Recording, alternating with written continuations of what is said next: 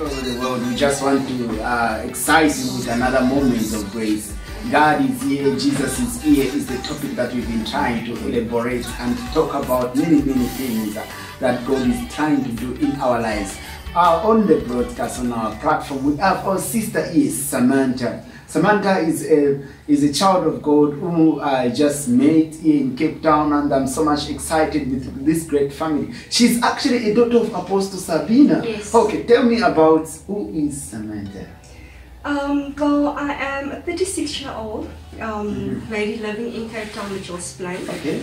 Um, recently, about a year ago, gave my heart over to Jesus. Mhm. Um, before that, I was a broken individual Mhm. um, that thought I knew, you know, what life is. I Yeah. thought that I had everything sorted out. Um, until I then met Sister Bina um, and her amazing family, then that led me to, to Christ. Mhm. Um, but yes, uh, I, I used to be a broken, very lost individual, Yeah. um, and I managed to find my way in my path. Wow, glory be to God. So Sister Samantha says she managed to find a path in the way of God. So tell me, what are you talking about? I'm just getting there to know that the path, the path. And then I'm trying to understand what type of path are you talking about? Um, well, my entire life has been, um, let's say, a lie. Um, because I've lost myself in my process. You know, walking around life thinking that this is what life is. It is about unhappiness and unpleasantness. Um, and you know, I, I was always reminded that your life on earth won't ever be good enough. Um, you know, the, the, the way you live is the way you live. Um, Oh. Jesus doesn't see you, God doesn't Jesus see you. doesn't exist or It's. God, exactly, Jesus Oh. doesn't exist. Okay. Um, you know, so, and, and obviously I was made believe that, that I'm the devil and I'm following the principalities of the devil. Glory be to God. Uh, well, there is a life that you need in this life, the life with Jesus. Jesus says, Come, all ye that labor and are heavy laden. Most of the time, we have burdens on our lives. We have so much burdens all around our lives. But you see, if only you believe and understand that God can work wonders, God, the Most High God, used Apostle Sabina to have an encounter of relationship with uh, my sister. Samantha, and she came to the place of divine comfort. There is a place that people have been looking for, have been searching for. This is the place called Jesus. Yes. Jesus is the place, you know. Jesus is called a place where we are looking for, a place where people long for, a place dreaming for. So now you're at this place called Jesus. Oh my God, this place called Jesus, who is here.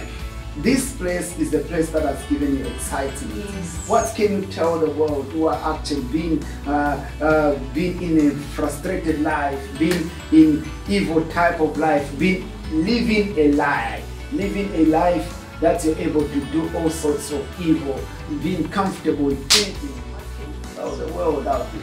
Well, I want to encourage those that are going through difficult times. Do not give up.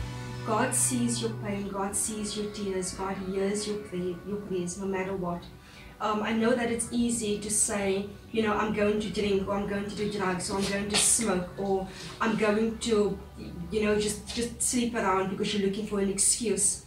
But you know, all you need to do is just know that God loves you. God is there no matter what. All we need to do is stay on our knees, give our heart to Jesus, pray to God, and believe and have faith that every situation will be fixed through the grace of God. Glory be to God. There is so many things to talk about. Yes. I believe you'll be able to see one of the videos whereby Samantha is a lighter. She's a writer. I think I, when I was in Zambia, I spoke about. You can see a lady who's going to write books, you know, Yes. and then that's what God showed me. And then I came and encounter with this beautiful uh, video, which we're going to play right now on the broadcast. You're gonna along the side, you're gonna be seeing this broadcast, and then your life will never be the same. May God bless you. Uh, God is faithful. We have another person all the way from. Uh, Mitchell's Plain. She's a lady, she's a musician for that matter. I'm believing we're gonna join her. And then for Samantha, we're gonna see that Samantha is going to go Yes. somewhere. Uh, but nevertheless, she's not departed from our sight. She's still here. Yes, She's still in the body of Christ. We are one body in the kingdom of God. Trying it's not the kingdom of God is not like a jacket where you can put it off and then you can just take it Exactly. outside. It's the body, the, the eyes, the nose connected to each other. So we are connected by divine purpose and plan of God. May God bless. Uh, glory be to God. We have our sister Meagan all the way from Mitchell's Plain. Oh my God, this is a wonderful sister. This is a sister who can just shake the world. She can shake the world by our worship. When you enter in the midst of the moment of worship with this sister, and then you just get the experience. And I believe that we're gonna pray one of the songs that she she's she's been doing, and then just by the fresh anointing of the Holy Ghost moving in her life. We have your sister here. We have you as a sister. And I've seen you doing great things in the kingdom of God. Having an encounter when you hold the mic, people are able to be touched and get transformed by the anointing of the Holy Ghost. Tell me, who is Meagan? Meagan, I am from just Cape Town. Yeah. I am 33 years old, and yeah, I love God a lot. Mhm. Yeah. Oh, okay. She said I love God. I don't know about Meagan now because I'm trying to understand all this sequence, and then she says, "I am Meagan. I love God." Okay, tell me, oh, what's where is Meagan coming from in the beginning of concept? How did Meagan come? How did Meagan explode to this great and mighty worshiper? Um, at the age of seven, Mhm. I invented I. Oh, okay. I told my mommy there's one night in the morning, mommy I can sing. Oh, And oh. since that time, I started singing. singing for You have been God. singing. I started singing in Been front of singing. people. I started singing, but I didn't really make Jesus that time yet. Oh, okay. So at the age of 16, yeah, I met God um, through my parents, which is um, Apostle, Apostle Sabina Sabina. and and- Apostle Demas. the late. Yeah. Well, it is well. God is faithful. God is still doing great and mighty things. I know that you've got a voice at some point where you can just tell somebody who are singing for the world, people who are church girls at some point, but today they're able just to do other things. We've got so many people who are actually doing evil things that are not actually according to the kingdom of God.